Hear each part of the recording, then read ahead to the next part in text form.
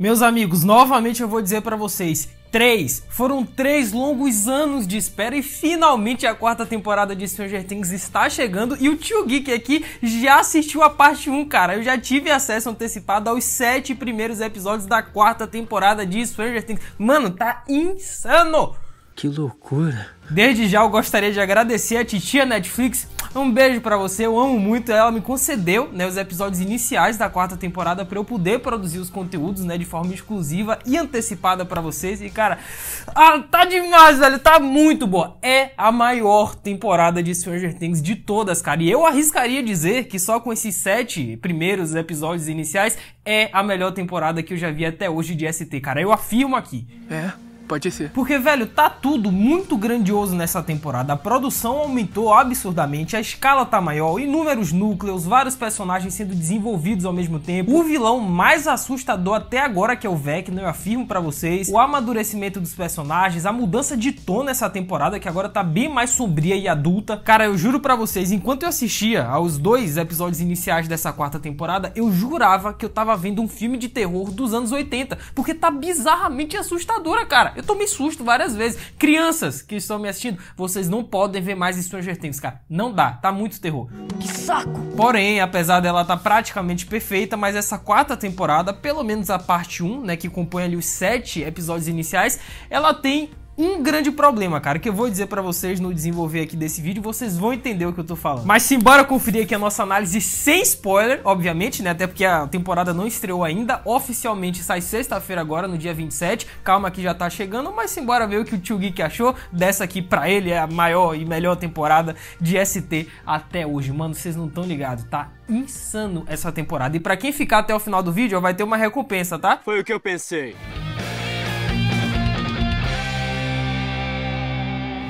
Hello, my friends geek na voz e tirem as crianças da sala, velho, porque essa quarta temporada de Stranger Things teve uma mudança de tom drástica e o negócio tá bem mais sombrio, cara. Porque se nas temporadas anteriores o grande charme de Stranger Things era justamente a inocência dos personagens, aqui agora na quarta, mano, a, a coisa muda de figura. Estranho, mas isso é verdade. Porque obviamente os moleques cresceram, estão no ensino médio, então a temporada fala abertamente sobre sexualidade, sobre drogas, aceitação depressão, ansiedade, bullying mais severo. Ou seja, esqueçam aqueles amiguinhos que andavam de bicicletas e que não sabiam o que estavam fazendo. O trem passou, meu amigo. Agora eles são jovens adolescentes e lidam com problemas de jovens adolescentes. Só que eu, meus amigos, jamais iria imaginar que os irmãos Duffers iriam abordar um terror nessa quarta temporada a ponto de você sentir medo, velho. Sem brincadeira alguma. Aquela cena que teve no trailer, né, da quarta temporada da Eleven com os olhos sangrando e o Vecna aparecendo, velho, foram duas das cenas mais horripilantes que eu já vi em em uma série. Eu não tô brincando.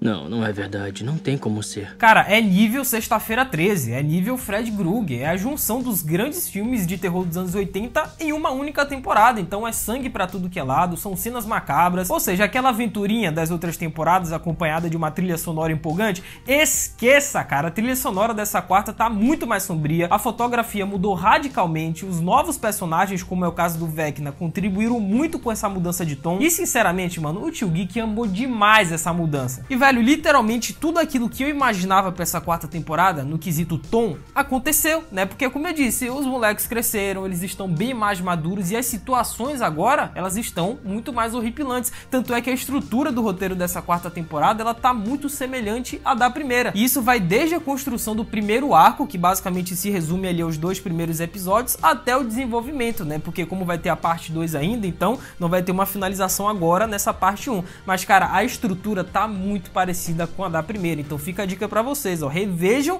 a primeira temporada de Stranger Things pra, ó, chegar daquele jeito na quarta, velho. Tem certeza? É óbvio que o Tio Geek não vai e não pode falar abertamente aqui sobre o que acontece com os personagens, né? Eu não posso contar simplesmente spoilers, até porque não é o momento e nem a hora para isso. Esse vídeo eu vou soltar no dia 27, assim que a série estrear. Eu vou soltar minha análise completinha com spoiler, então já estejam atentos. Mas, cara, eu posso adiantar aqui para vocês, tá? Sem spoiler. Os melhores personagens dessa quarta temporada são a Max, a Eleven e o Hopper. Principalmente a Max, cara. Nessa parte 1, ela dominou. Não, não é normal. A Eleve a gente já sabia que ela iria receber mais camadas nessa quarta temporada, né? Porque ela tá longe de casa, tá longe do Mike, não tem mais o Hopper por perto, né? Que é o seu pai, tá tentando se adaptar a uma nova vida, tá sofrendo muito na escola, né? E essa questão do bullying, como a gente viu naquela cena divulgada envolvendo a Angela. Então, assim, cara, se preparem, porque essa temporada vocês irão ouvir palavras muito chocantes saindo da boca da Eleven. Mano, tem um diálogo envolvendo Eleven e outro personagem que eu não vou dizer aqui porque seria spoiler, mas velho, aconteceu uma coisa, um diálogo que é top 3 melhores cenas da história de Stranger Things. Vocês vão ouvir isso e vai suor masculino saindo, velho. Ah, e para quem cobrava aí um pouco mais de atuação da Millie Bob Brown, porque ela era muito monótona, simplesmente se prepare porque ela vai brilhar nessa quarta temporada. Vocês vão entender por que, que a Millie é esse grande sucesso e uma das atrizes mais promissoras de Hollywood, mano. Ela arrebita muito, velho. Legal. Agora, já Max, meus amigos, essa personagem daí, cara, assim, a gente sabe, né? A gente viu através dos teasers e o trailer divulgado que ela receberia um destaque a mais, deu para perceber, principalmente porque ela apareceu no trailer alucinando com o Upside Down, né? Ela lamentando ainda pela perda do Billy, fugindo do Vecna. Só que, cara, eu jamais iria imaginar que a Max, ela teria tamanha importância na narrativa como ela teve nessa parte 1. E é aquilo que eu disse anteriormente, se eu tivesse que elencar aqui os três principais personagens dessa parte 1, Cara, Eleven, como sempre, o Hopper, que tá muito interessante e que eu vou falar ainda mais sobre isso, e a Max, porque ela brilhou, velho. Porque como a gente viu no trailer, a Max, infelizmente, ainda tá sofrendo muito com a perda do seu meio-irmão Billy. Isso vai desencadear vários problemas na vida dela. Ela vai passar por situações muito complicadas que vocês nunca viram ela passando. E isso obrigatoriamente fez com que a atriz Sadie Sink simplesmente elevasse o seu nível de atuação, né, mano? Porque a Max, que a gente viu na segunda e na terceira temporada, é uma coisa, e nessa quarta quarta é outra completamente diferente. Foi o que eu pensei. Como eu disse, a atriz, ela elevou o nível da atuação dela, são novas facetas, é um lado da Max que particularmente a gente não viu, pelo menos não nesse nível, e velho, ó, tá lá em cima, mano, a atuação dela tá muito boa. E o mais da hora é que a gente viu esse crescimento, né, cara? Nós vimos os atores ainda crianças e hoje eles já estão jovens, maduros e muito talentosos, né? É quase o efeito Harry Potter, porque o nível de atuação da turma, como um todo na quarta temporada, tá muito lá em cima, cara, tá muito boa. E assim, meus amigos, obviamente eu não vou soltar nenhum tipo de spoiler nesse vídeo, tá? Pode ficar sossegado, mas eu vou adiantar uma coisa para vocês. A Max protagonizou a melhor cena dessa parte 1 da quarta temporada de Stranger Things. Vocês vão assistir? Vocês vão entender. Ah, jura? Agora, em relação ao núcleo do Hopper lá na Rússia, que todo mundo já sabia que isso ia acontecer, tá? Não é spoiler, pelo amor de Deus, mas cara, eu confesso que eu particularmente não tive grandes surpresas não. Eu imaginava certas coisas e essas coisas aconteceram. Eu senti que nesses primeiros sete episódios as coisas aconteceram rápido demais lá na Rússia, né? Não houve muito desenvolvimento desenvolvimento. Os novos personagens desse núcleo também, confesso que foram qualquer coisa. Não tiveram um charme, por exemplo, tão grande como foi o caso do Ed, que é outro personagem novo, e eu vou comentar mais sobre ele. Então, pô, personagens como o Dimitri e o Yuri, que foram anunciados que estariam no núcleo da Rússia, cara, eu não gostei muito. O Yuri mesmo achei um personagem muito forçado, ele é sem graça. O Dimitri nem fede nem cheira, não tem destaque. O que salvou mesmo esse arco da Rússia foi a atuação brilhante do David Harbour, velho. Eu acho que não. Cara, o Hopper, ele segura as pontas lá na Rússia de uma forma absurda, mano, de forma brilhante. Vocês vão ver o Hopper como vocês nunca viram na história de Stranger Things. Tem uma cena envolvendo ele que é muito emocionante, cara. O David Rabo atua bem demais. E como vimos no trailer, né, a Joyce e o Murray também formaram uma ótima dupla nessa primeira parte e, sinceramente, eles renderam também alguns dos melhores momentos da temporada, mas claro que eu não vou comentar, porque é sem spoiler. E, gente, eu nem preciso avisar para vocês, né? Pô, dia 27 vai estrear a série, vocês sabem que o Tio Geek vai fazer uma penca de vídeos aqui no canal, teorias, final explicado, expectativas, referências, vou trazer os quadrinhos, curiosidades, tudo que vai acontecer nessa quarta temporada na parte parte 1, eu vou trazer a partir do dia 27, cara. Com spoiler é a partir do dia 27. Então já se inscreve, ativa o sininho, me segue lá no Instagram, faz tudo para você não perder esses vídeos. Vão por mim. A maior cobertura de Stranger Things vai ser aqui nesse canal, cara. Vão por mim, tá muito. Vocês não estão ligados o que vai acontecer aqui. Agora, em relação à nossa turminha, né? O Mike, Will, Dustin, Lucas, Nancy, Steve, Erika, Robin, cara, eles estão muito bem, como sempre, na temporada, não tem grandes surpresas. O Dustin e o Steve continuam sendo a melhor dupla dessa série, apesar da diferença de idade de um pro outro. E o Steve, ele tá mais ligado com a Robin nessa temporada. A Nancy foi outra que recebeu um grande destaque também na parte 1, mas não posso comentar mais a partir daqui. A Robin continua legal como sempre. Erika também ganhou muito mais tempo de tela. O Lucas ficou um pouquinho sumido nessa nessa parte 1, mas também foi importante pra narrativa. O Will Byers também é outro personagem que eu tava com muita expectativa e que elas foram correspondidas, tá? Porque nessa temporada ele ganhou novas camadas e eu espero que eles abordem ainda mais do que nunca. O Mike é o de sempre, tá? Ele colabora ali com o núcleo da Eleven, só que, velho, o melhor novo personagem dessa quarta temporada e que roubou a cena, roubava sempre que aparecia, era o Ed, mano. Ed Manson. Você é louco! Mano, a atuação do Joseph Quinn é um negócio impressionante. Ele é carismático, é engraçado, é esquisito na medida certa, consegue cativar todo mundo. Ele é aquele tipo de personagem que logo na primeira cena que vocês assistirem, vocês vão gostar dele, mano. Assim que ele aparecer, vocês vão dizer, mano, já gostei desse cara. Nossa, velho, eu tô me segurando, gente, mas calma, que sexta-feira vai sair a minha análise com spoiler. Eu vou poder contar mais a respeito do Ed, porque vão por mim. Ele, ele é além das aparências, ele é muito bom na temporada. Aí é engraçado, não é? Agora sim, meus amigos, vocês perceberam ou não que eu deixei o Jonathan e o Argyle, sendo que esse último é outro novo personagem da temporada, por últimos, né? Então, eu quero falar separadamente sobre eles, cara, porque, velho, essa duplinha que eles tentaram formar, que foi forçada, velho, foi uma grande decepção para mim nessa parte 1, gente. E olha que eu gosto do Jonathan, velho. Eu só acho isso incrível. Porque apesar do Jonathan, né, a cada temporada que passa, ele vai tendo cada vez menos destaque, né? Porque, pô, na primeira, o Jonathan com o sumiço do Will, ele teve um brilhantismo absurdo. Na segunda temporada, teve um ou outro momento, só que ele ficou um pouco apagado. Na terceira, tirando o núcleo da Nancy, ele praticamente não existiu. E aqui nessa quarta temporada, o Jonathan não fez nada e ficou o dia todo fumando maconha com o Argyle. Foi literalmente isso que o Jonathan fez nesses sete primeiros episódios, mano. Isso não é spoiler, tá? Tá no trailer. O Jonathan puxando a verdinha. E, cara, que desperdício, mano. Porque eu gosto do personagem, eu gosto do ator. Só que nesse sete. Eu não sei se no oitavo e no nono ele vai ter um grande destaque, mas nos sete primeiros episódios iniciais.